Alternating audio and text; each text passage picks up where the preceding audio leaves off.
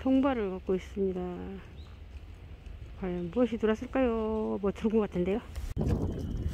뭐 들은 것 같더니만 어머 우럭이다. 우럭 들었습니다.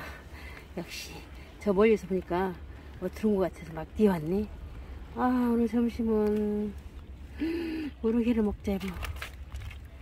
와 전번보다 더큰거 들었습니다. 와 역시 정어리를 넣으면 엄청 크죠?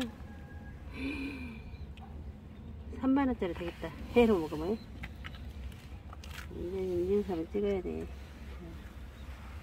인증사진 찍어. 네, 됐어 이거. 이거 이 정어리를 또 넣으려고 왔어요.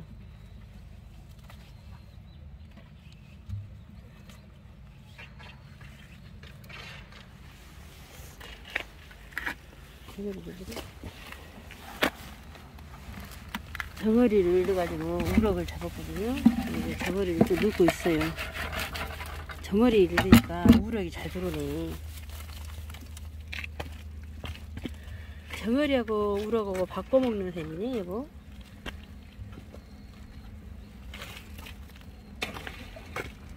맛있는 찌개하고 해 떠먹고 찌개 하자.